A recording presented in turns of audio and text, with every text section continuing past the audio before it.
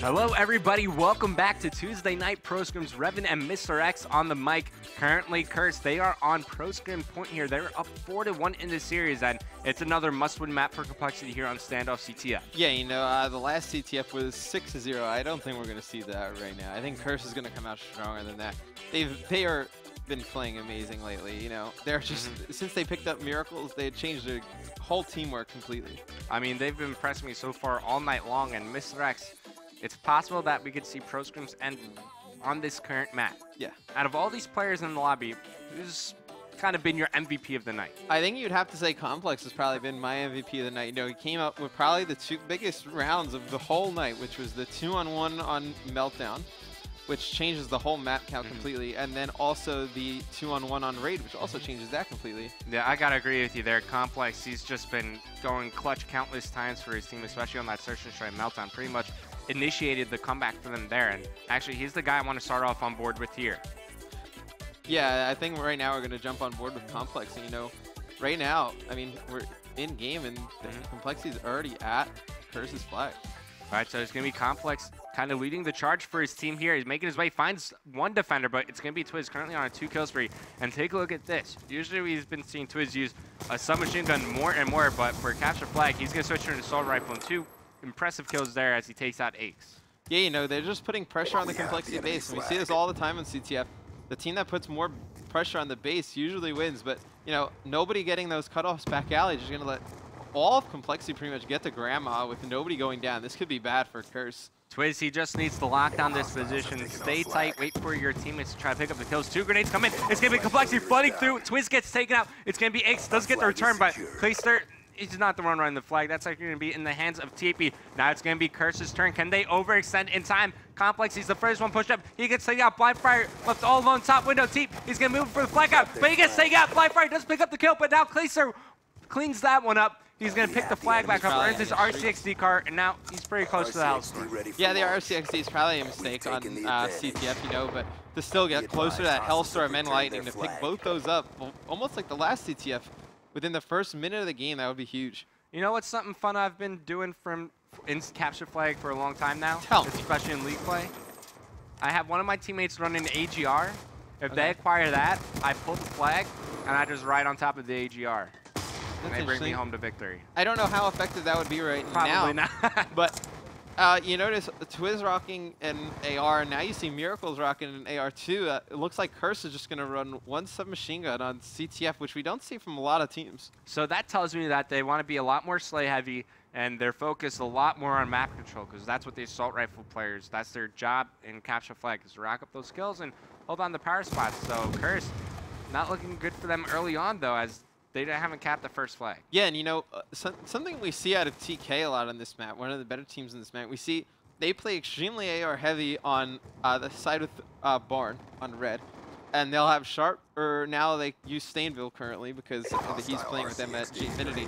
They'll have them sit in top red and just try and acquire streaks until they get to this grandma side of the map, and then this is when they really push and try and get their caps.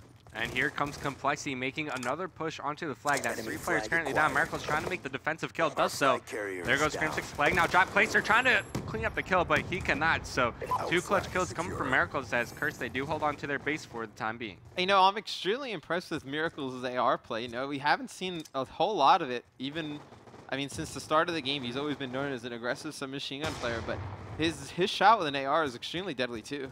Complex, I think he might be messing with the spawns a little bit from being over here. No, looks like they are going to get a normal gas station spawn, but he's going to be pulling the flag. Knows there's one over near the elbow side of the map, but he's actually pulling it right to where Clayster spawned. So Complex, he's got to start making some map progression with the flag. He cannot. Complex does clean up the kill in time, so the play is still alive. But on the other side of the map, Clayster is going for a counterpull. This is going to force Curse to make a play.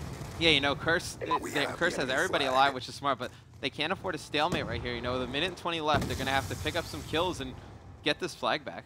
All right, so I would say wait for Blind Fire to respawn, try to go at it as a team. Twiz, of course, he can't push because He's the guy that has to cap the flag. So Complex, Yeah. he's just going to wait around over near wood, but T will slip by directly under him. Actually, he'll find the kill here. So that's a good start for Curse as they're making the way for the return. Yeah, you know, uh, Complexity really doesn't have anybody on defense back near the flag, so if Curse can get up and make a solid push, I mean, they can definitely get this return. And now they got to rotate back to try to fend off their flag carrier. They do pick up the kill on the Aches. And Miracles, he's got a Hellstorm missile work with, and it looks like he's going to be trying to get the Lightning Strike as well. So he's going to be the guy playing defense. And I think even going into the half down one flag, but with score streak control, that's going to put your team in a decent position. Oh, no, going into the second half, only down one nothing with score, scre- score streak control would be huge. You know, that's not as big a disadvantage as, let's say, the being down uh, two flags. I think, or e- or or even top. I think you, I would rather have score streak control than actually have the game tied. To be honest. Uh-oh, here comes Crimsix.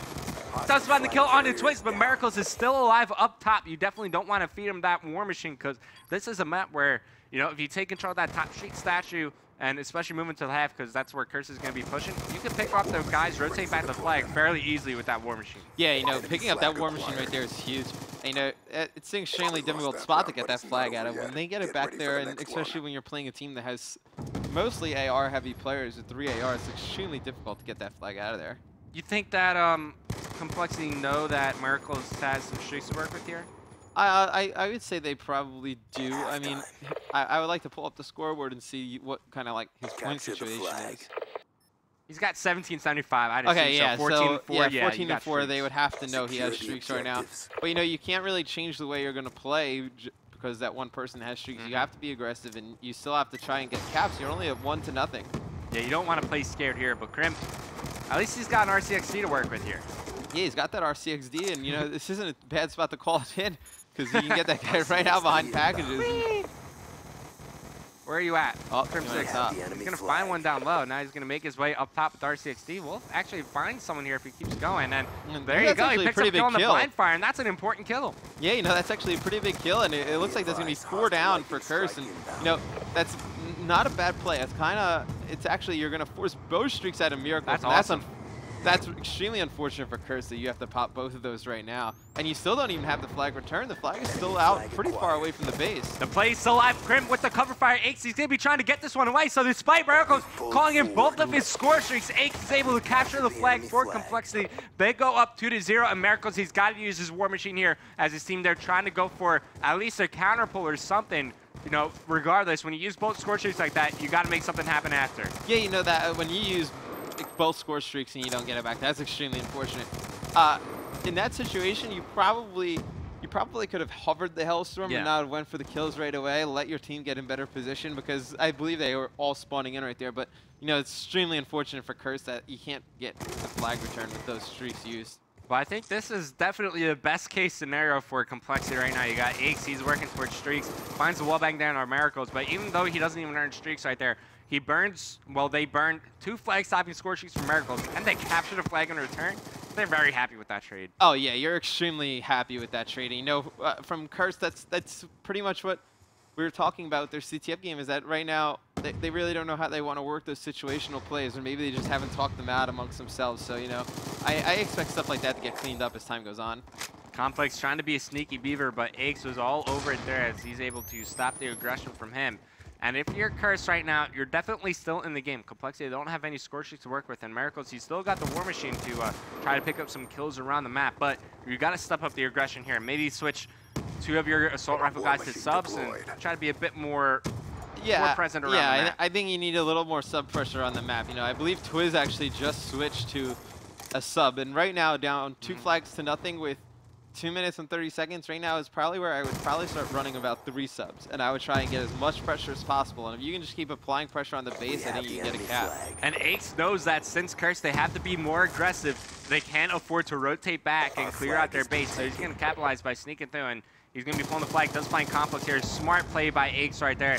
Is able to find that kill. You see Twiz trying to go for a counter pull himself. Is able to find one there as he takes out Teep. So Curse, they are trying to make some plays happen, but they have to get this return. They cannot afford to stalemate. Yeah, and I was just about to say, right now is where you'd want to use the War Machine with Miracles. You know, this this could be extremely deadly because you have. Oh, that's that's that, that's unfortunate. Because he Complex- spawned right there and he had the flinch too. Oh! It looks like Complex is gonna get this return. Oh no, No. Crim takes him out. Hostiles Yeah, he got been stopped just short. And who's this for Complexity? Clayster finds the kill, will get the return. Complexity, they're going to cap another flag as Crimsix earns his RCXD one more time. This is looking better and better for Complexity as time goes on. Yeah, I mean, you're just seeing big kills being made across the board for Complexity. I mean, we, we see, I mean, T TP making big plays, uh, Clayster with huge return kills, and another RC kill from Crim. I believe it was second one on the Yeah. BL Fire. So, you know, right now, uh, Curse, I mean, they're down 3 to 0. Our flag It's, has it's, been the map's pretty much over, but, you know, you, you can't get is down. desperate. You got to keep playing, and, I mean, you can't keep overextending because then you're just going to give up more caps. I mean, once again, they're not getting completely outslayed. It's only by No. a couple of kills. It's mainly the teamwork and the timely kills at the base on the flag carrier, getting those clutch returns at the exact moment when your flag carrier is going to capture the flag. Yeah. That's all going in favor for complexity. Oh, absolutely. I mean, you can you can point the fir- their actually first pull of the game as a perfect example of this when they had they got all four down for complexity. They pulled the flag, and then I, I believe they had everybody like packages side, and nobody cut off back alley. You let everybody from complexity get to grandma and pull the flag directly at you. And. I mean, since then they really haven't got control of the map again. Another must-win map for complexity. This time, they're going to take it and some pretty good fashion. You know, three caps to maybe one here. I mean, it doesn't really actually know. Flag does get pulled away from Crimson. So three to zero for complexity. I mean, they won raid by six to zero. They only got half the caps here, but Yeah. still a great performance. Yeah, they only got cap half the caps here, but this game is a lot close. This game, this, strike this game's a lot closer than the score says. Mm-hmm. You know, I, I, it could have went either way. You know, that first cap for Curse could have been huge. I mean, you don't know if somebody acquires more streaks off of that, or if they they use even miracle streaks a little more effectively. I mean, it could have changed the whole outcome of the game. Okay, so complexity looks like capture flag is really their go-to game mode when they need a win. They've been struggling a little bit on a hard point, and search and destroy. They almost won the last one, but meltdown. I mean, that was all the complex show. Once he got those streaks going, he caught fire and just dominated everyone. Yeah, I mean, Complex and BL Fire have really been on fire this whole series, especially, I mean, Search and Destroy. Uh, BL Fire went huge in Raid, controlling that middle, and Complex, I mean, going huge all night with those clutch rounds. Well, if I'm complexity, the next map I want to choose is probably Yemen, Yemen Hardpoint, Hardpoint probably would be the one. It looks like the next map will be Raid Hardpoint. Can Complexity hang on once again? As Curse, they only need one more map to close out Pro Scrims. Quick commercial break. When we come back, more Call of Duty action here on Major League Gaming.